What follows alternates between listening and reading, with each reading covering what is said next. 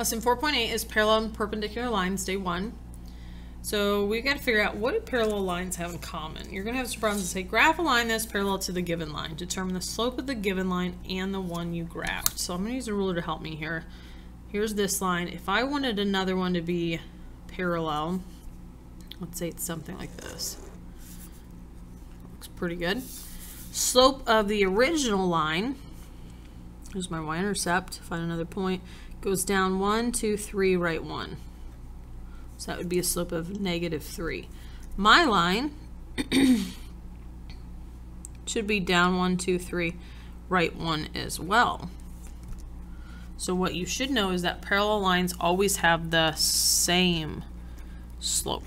Always, always, always. That's what makes them go in the same pattern or the same um, rate at the same angle kind of thing. Right, then let's talk about perpendicular lines. It's not as clear. So it's graph a line that is perpendicular to the given line. Perpendicular means it's got to make a right angle. So I'm going to say something. I'm just going to cut an eyeball here. Something like this. It's got to make like a big plus sign, right? So the original slope, I'm going to find the y-intercept. Right here. It goes up 1, 2 over 1 up 2 over 1. So slope is 2. For my second line, notice how it has to be negative. And then what happens is this line going up was steeper. Now it's not as steep. So really it should be like a, let's pick this point, down 1, right 2, or negative 1 half, which is the reciprocal of 2.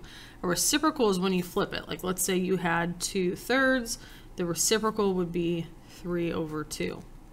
Or if you had 4, which is over 1, the reciprocal would become 1 over 4. So it's negative reciprocal. So perpendicular lines always have negative reciprocal slopes, meaning one's going to be positive, one's going to be negative, and they have to be reciprocals of each other. so number three says, which equation represents a line which is perpendicular to the line 5x plus 2y equals 12. And what I don't like about this is this is in standard form. We have to have it in y equals mx plus b. So let's move the 5x over to get 2y equals negative 5x plus 12. Divide everything by 2. So I get y equals negative 5 halves x plus 6. What is the slope of this line?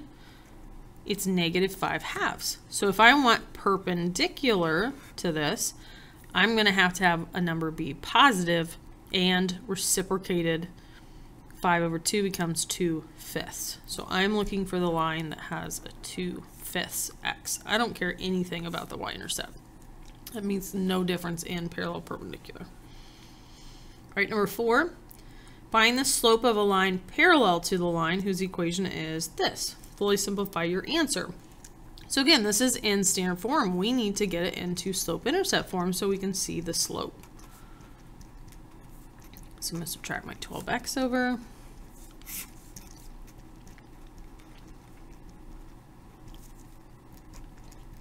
And divide everything by negative 15.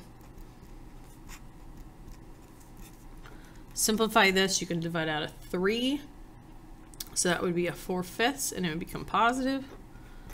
I don't care really what that is, but I will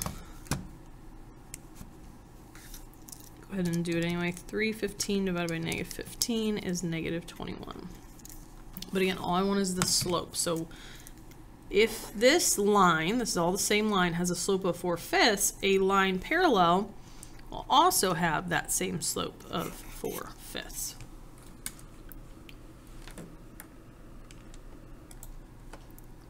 And then number five, it says the lines represented by these equations are, are they parallel, perpendicular, the exact same line, or neither parallel or perpendicular.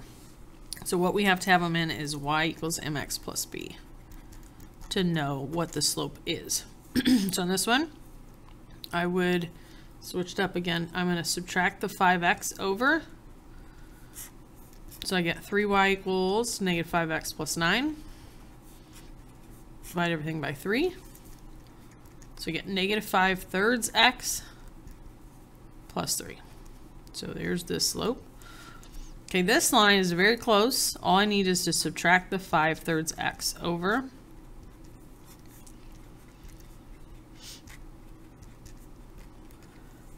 And then there's my slope. They're exactly the same slope, so they could be parallel, but look, they're the same y-intercepts too. So these are actually the exact same line. If I were to graph them, they both have y-intercepts here. They go down 5, right 3, one line on top of the other. Okay, number 6, same thing. You're going to get your y by itself. Slope of the first line is negative 3. I'm going to add the 6x over. So we get 2y equals 6x plus 16. Divide everything by 2. It would be 3x plus 8. Okay, this is kind of tricky. They are negatives of one another, but are they reciprocals? No. So they're not parallel because they're not exactly the same number. They're definitely not the same line. They're also not perpendicular because this would have to be a one-third. So they're not parallel or perpendicular. But what does that mean then? So if this one's got a y-intercept of negative 3 and it's going down 3 right 1, this line's going to look like this. This one's starting up at 8 and it goes up 3 right 1. So they're not parallel, they're not perpendicular, but they do, they intersect is what they're doing. They intersect. As long as the slopes aren't the same, they're going to intersect, but they're just not making 90s right here. Making maybe something bigger or smaller than that.